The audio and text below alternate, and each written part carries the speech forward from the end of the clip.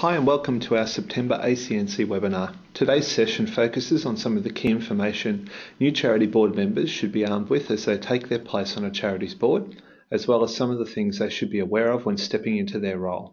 My name is Chris Richards and I'm from the ACNC's education team. With me is my colleague April Kitchener. Hey April. Hi Chris, hi everyone. Today we'll co cover a number of topics. We will provide five quick questions new charity board members should ask give a brief introduction to the ACNC, who we are and what we do, look at charities' ongoing obligations to the ACNC and the ACNC's governance standards, examine in detail key duties for responsible persons, including charity board members, and provide some other general tips for those new to the board. Now, before we start, to those of you joining us today who have decided to jump in and join a charity board, we'd like to say two things. Congratulations and thank you. So many of Australia's nearly 55,000 registered charities rely on the contributions of people like you, board members who are willingly giving up their time, often without remuneration, to help an organisation they support. Without volunteers and volunteer board members, many charities would struggle to be as effective as they are. Some may even cease to exist. So we at the ACNC want to acknowledge all those great, engaged and involved charity board members, including the new ones.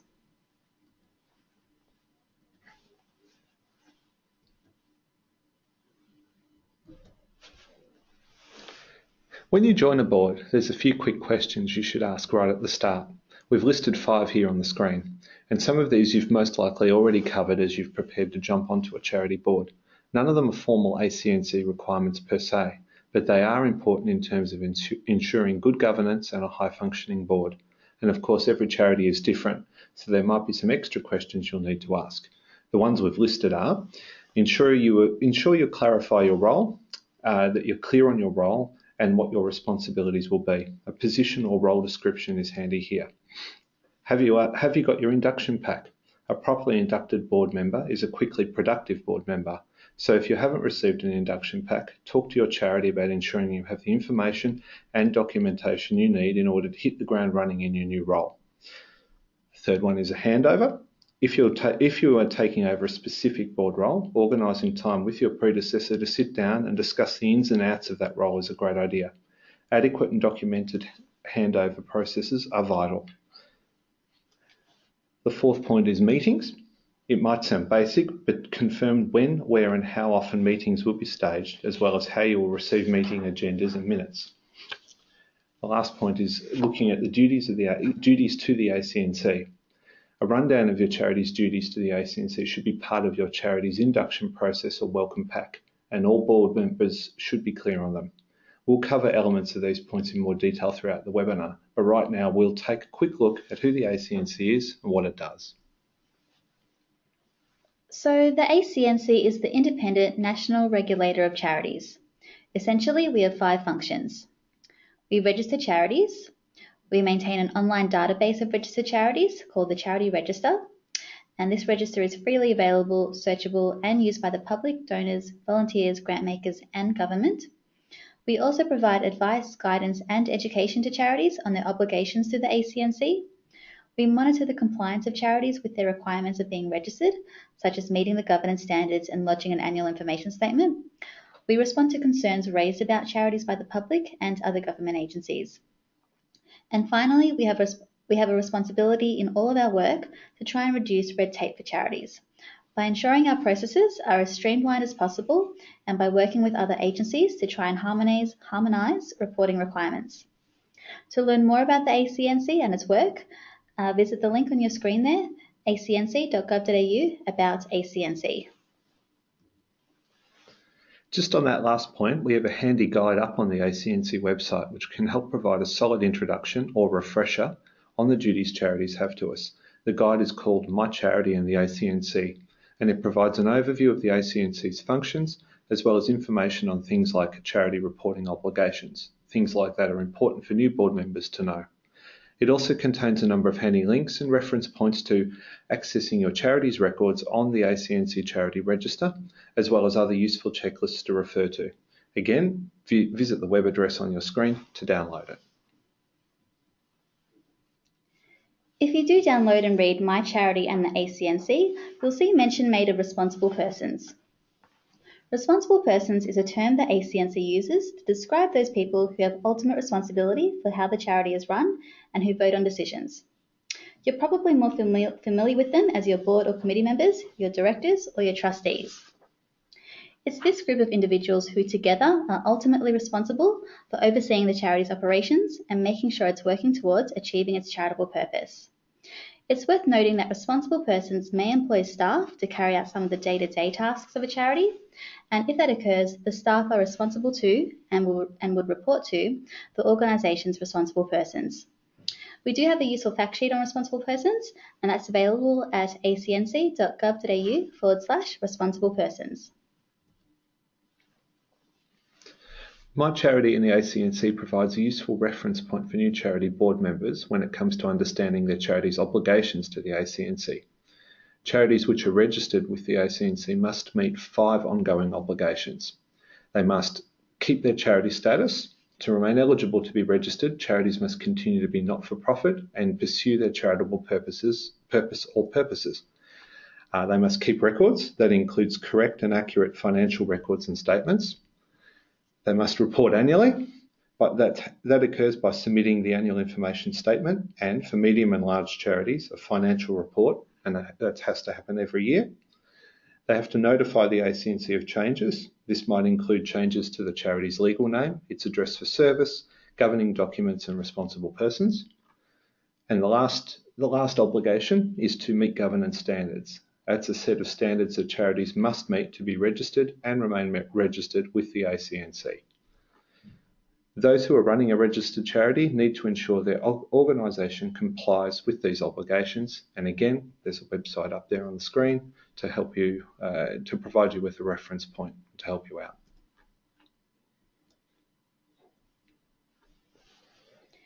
As Chris mentioned, one of the ongoing obligations of registered charities is meeting the ACNC's governance standards. The governance standards are a set of five minimum standards which deal with how a charity is run. This includes a charity's process, activities, governance, and compliance. Under the governance standards, charities are required to demonstrate their not for profit purpose and character, and that it works towards its charitable purposes and provides information about its purposes to the public.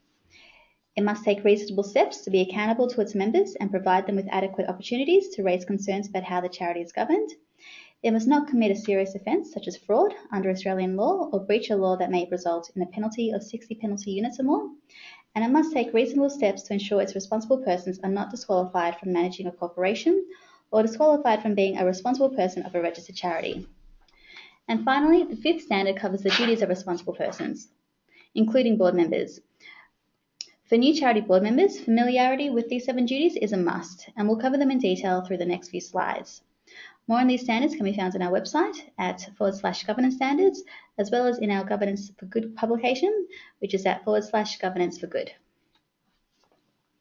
The seven duties set down in Governance Standard 5 uh, uh, direct a charity's responsible persons to uh, one, act with reasonable care and diligence, to act honestly and fairly in the best interests of the charity and for its charitable purposes, to not misuse their position as a responsible person, to not misuse information they gain in their position as a responsible person, to disclose conflicts of interest, to ensure the charity's financial affairs are managed responsibly, and to not allow the charity to operate while insolvent. As a new charity board member, these seven duties provide you with a firm starting point to guide your actions and behaviour when carrying out your duties.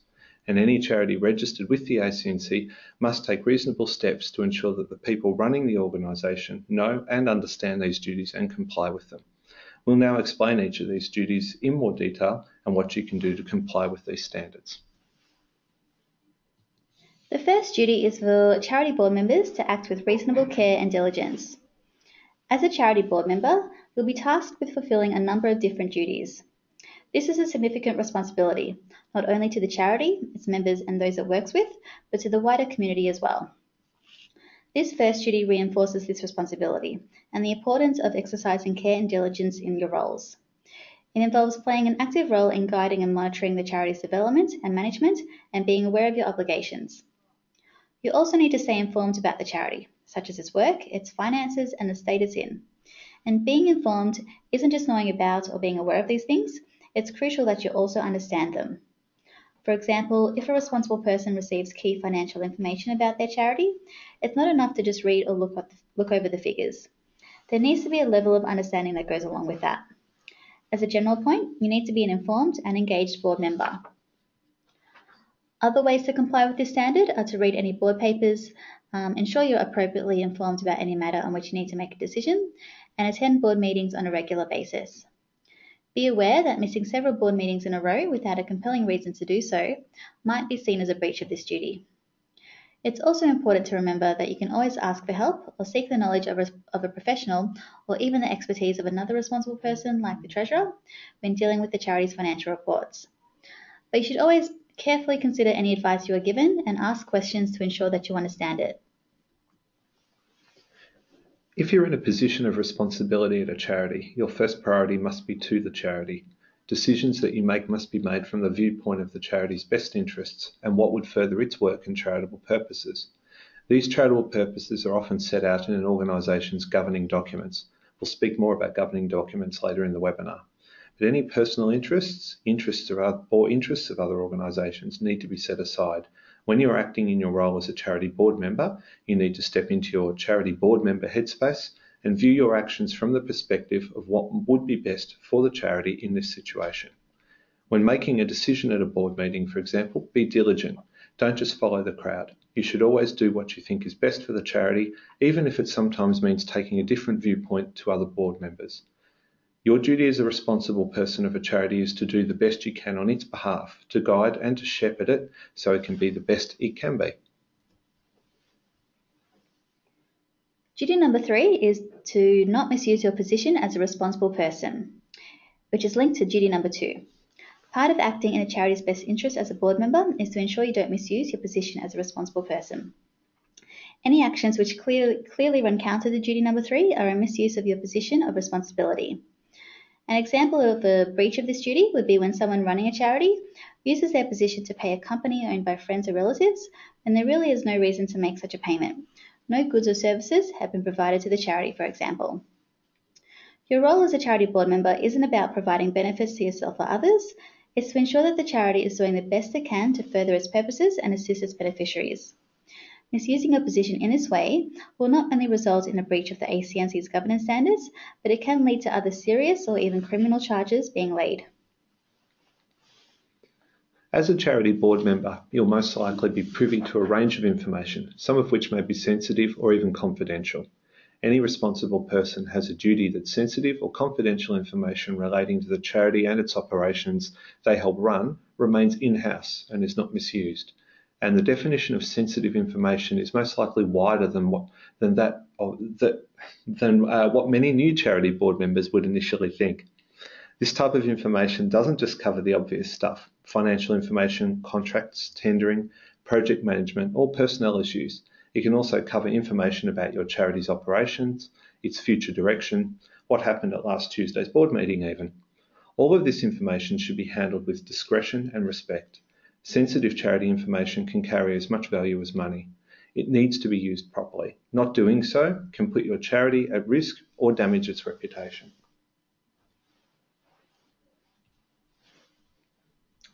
Board members need to become skilled at partitioning their role with their charity or separating it from, their, from the rest of their everyday life.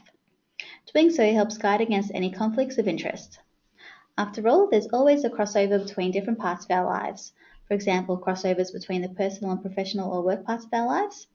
But anyone who serves as a responsible person for a charity needs to take care that the intertwined parts of their lives don't improperly impact on the charity they serve. Now, for a charity's responsible persons, having a conflict of interest doesn't necessarily need to be a bad thing. The key is how they are managed. As part of their duties, responsible persons should properly address any actual or perceived conflicts of interest. This means a clear and open disclosure of any conflict between their duty to act for the charity and their personal or private interest, as well as making sure they are not part of any discussion or decision making matter making on a matter where there is such a conflict. You can remove yourself from the room when, dis- when these discussions take place, for example. You should also ensure that your charity has a policy of com- on conflicts of interests and even maintains a register of interests. Importantly, this type of approach should also be followed even if the conflict of interest is perceived rather than actual. A conflict should be disclosed whenever an independent observer could doubt that a responsible person is acting in the best interests, of the charity. For new charity board members, it's a good idea to find out whether your charity holds a register of interests document in which board members can publicly disclose their interests to ensure transparency and good governance. So the ACNC has a great guide on managing conflicts of interest, which can be downloaded via the link on your screen.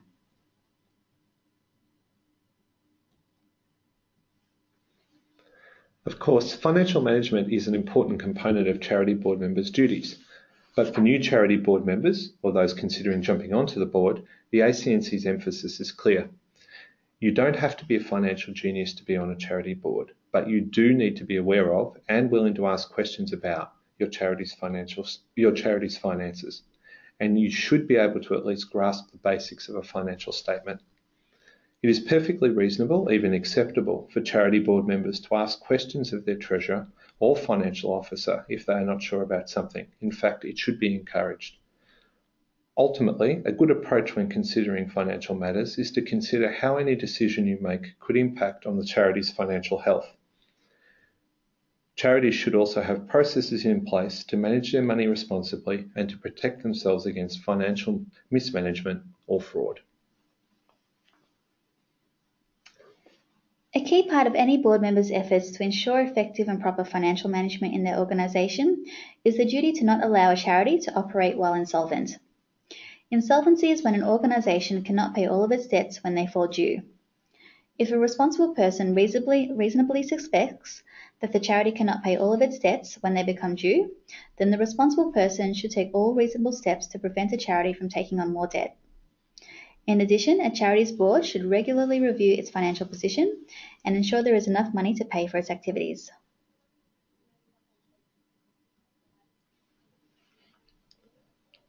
The last seven or eight slides have covered the duties that charity board members, responsible persons, have to the ACNC. There are a number of other general good governance tips new charity board members should take note of. And when we speak about governance, we refer to the actions a charity and its responsible persons take to ensure that it is effectively and properly run. So we have already touched on this, but we do recommend that new charity board members ask after and actively seek out an induction pack or welcome pack to prepare them for their new role. An induction pack should include information about your charity's obligations to the ACNC and any other regulator, um, you'll also include your charity's governing documents, its annual and financial reports, and information which allows you to access key charity information um, or accounts, or even the organisation's listing on the charity register. It can also include step-by-step, uh, step-by-step descriptions covering key charity processes like registering new board members.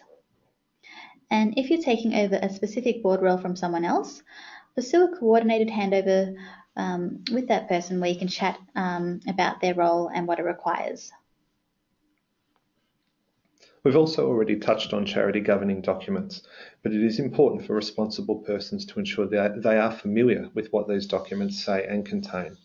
Generally, governing documents are formal document, documents which set out the charity's charitable purpose or purposes, that is, what it does, who it works with or helps, that the charity operates on a not for profit basis, and the way that the charity's board or committee makes decisions and consults with members. New board members should seek out their charity's governing document and familiarise themselves with it. And once you do so, don't just stash this document away somewhere to gather dust. Ensure it is regularly updated and it is a living, breathing, and relevant document. Remember, the ACNC needs to be notified of any changes you make to your governing documents, as well as receiving a copy of the changed documents. You can read more in our fact sheet, and that's forward slash governing document. Meetings are a prime example of good governance practice by ensuring your members are kept informed about your charity's activities. Each charity will organise and run board, committee, or sub- subcommittee meetings in subtly different ways, depending on all sorts of variables, like its work, stakeholders, and partners, for example. There are even times of the year where meetings may have to be held more often to ensure things are still on track. A key component towards a well-run, productive meeting is a good agenda. Your agenda should, should include what is, to be, what is to be discussed at the meeting and the likely time for each item, who is responsible for leading the discussion on each item, and the purpose of the item being discussed. Does, does a decision need to be made or does it need to just be noted? Is it just for information? Is advice being sought or is the matter for discussion only? Taking time to prepare a good agenda will help ensure you invite the right people to the meeting to provide information or advice, and that any support material for items on the agenda is prepared and board members are well, well informed in advance. There's a couple links to resources on holding meetings and agendas on the ACNC website, and there are also a number of great resources from other organisations like the Justice, uh, sorry, like Governance Institute, Justice Connect, or our community. Annual general meetings represent another important good governance practice. An AGM basically sees organisations present a report to their members about how it is travelling financially and what it's been up to over the past 12 months. A charity might use its AGM to make changes to its governing documents or even its name. In addition, most groups also have their board elections at their AGM, meaning a charity's responsible persons may change at this time. Those running a charity need to be aware that if they use their AGM to change their legal name, alter its governing documents, or change its responsible persons, the ACNC must be notified. And that's all done through the ACNC charity portal with your username and password, which you should all have, but if you don't, you can reset it online or give us a call and we can help you. There's no specific requirement under the ACNC's legislation to hold an AGM. However, doing so might be a good way for your charity to demonstrate that it is accountable to its members under Governance Standard 2. There is also no requirement for charities to advise the, the ACNC of the date of your AGM or register your upcoming AGM with the ACNC. However, you will still need to follow any requirements around holding an AGM as set out in your governing documents, model rules, or articles of association. Charities might have a number of obligations to other Commonwealth, state, or territory agencies about around the staging of an AGM. That might be due to your legal structure, for example. If that's the case, be aware of these requirements and continue to follow them if applicable. Duty number six, which we covered earlier in the webinar, webinar looked at how charity board members need to ensure their organisation's financial affairs are managed responsibly. This type of responsible financial management stretches the need for responsible persons to ensure their charity can not only gather the resources required for the organisation to do its work, but safeguards those resources and ensures they are, insu- they are used in an efficient and lawful way. This covers issues like reserves, budgeting, spending, and other elements of financial management. As we mentioned earlier, board and committee members should have enough financial knowledge to be able to make informed decisions on their charity's finances. This might mean your charity's responsible persons undergo some financial literacy training. There are plenty of courses around. In addition, the ACNC's guide on managing charity money can be found um, at the link on your website, uh, that, on the link on the screen that you see there. It is important that those running a charity know what their record keeping obligations are and who it needs to report to. ACNC record keeping obligations include your charity keeping certain written financial and operational records, and there are examples of each of those up on your screen right now. You can keep the records in any format you choose, as long as they are easy to find, and that includes in electronic form. And you can develop your own system or process to keep these records as well. You have to keep the records for seven years, and you have to keep the records in English or in a form that can be easily translated into English. However, your charity does not have to provide records to the ACNC unless asked. Keeping proper records can help your charity, show it is continuing to be run as a not for profit and working towards its charitable purposes. It can help it understand help understand whether your charity is in good financial health, assess whether the right kinds of decisions are being made, both operational and financial, communicate about your charity's activities and finances, prepare reports to meet your reporting obligations to the ACNC other government regulators, donors, funders, and members, and otherwise show that your charity meets its obligations under the ACNC Act, tax, and other relevant laws. The ACNC's resource on keeping charity records can be found there, the link on your screen. We also have a record keeping checklist that can be found at acnc forward slash record keeping checklist. Most charities and charity board members will experience a difference of opinion or internal dispute at some stage. Some dispute, disputes can be across the board table between volunteers, staff members, or others. Now, not everyone has to get along like best mates. There are all manner of uh, personalities which coexist inside charities. However, what is important to remember is that the work of the charity, its charitable purpose, is paramount. People can coexist and perhaps not get along all the time, but once this starts to impact on the charity as a whole or puts the charity at risk of breaching the ACNC Act, then the situation isn't good enough. It's a good idea to set in place some policies on how to handle disputes, how to arbitrate them, as well as dispute resolution procedures and techniques. Those running a charity should be familiar with any procedures, but they should be also be prepared to intervene where required or refer things onwards to other authorities. Finally, don't run into trouble with relating, um, related issues like bullying or harassment. This can see a charity hit legal trouble and its reputation take a hit too. The ACNC has a guide on dealing with internal disputes and we'll include the link in the follow-up email when we send out uh, very soon.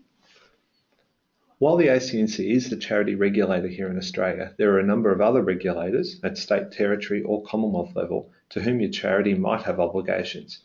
Right there on the screen, you'll see a list of some of those bodies. Charity board members should at least be aware that their organisation may have obligations to regulators who aren't the ACNC. For a more comprehensive rundown, visit the ACNC's Other Regulators page, again at that link at the bottom of the uh, slide right there, forward slash Other Regulators. We're nearing the end of our formal presentation today, up on your screen there, we've got a list of useful links around the ACNC web website, which can help new charity board members with their responsibilities. Don't worry about madly um, writing them all down. Um, we'll send these links out in the follow-up email. Of course, what we've covered today isn't an all-encompassing list, though we have tried our best. Um, but it is a good starting point for new charity board members um, to, be, to be aware of a few things that might come up. Many new board members might find themselves at charities with their own unique and individual requirements. If this is the case, being aware of general good governance practices and having access to useful resources can be a big help. Having a solid foundation of knowledge, policy procedures, and an awareness of your responsibilities can go a long way towards helping your board members fulfill their roles successfully and in a way which helps uh, the charity achieve its, achieve its aims. Well, that's about it from us today. Thank you, April, for coming along and helping out. Thanks again to everyone here for joining us. We'll see you another time. Thanks very much.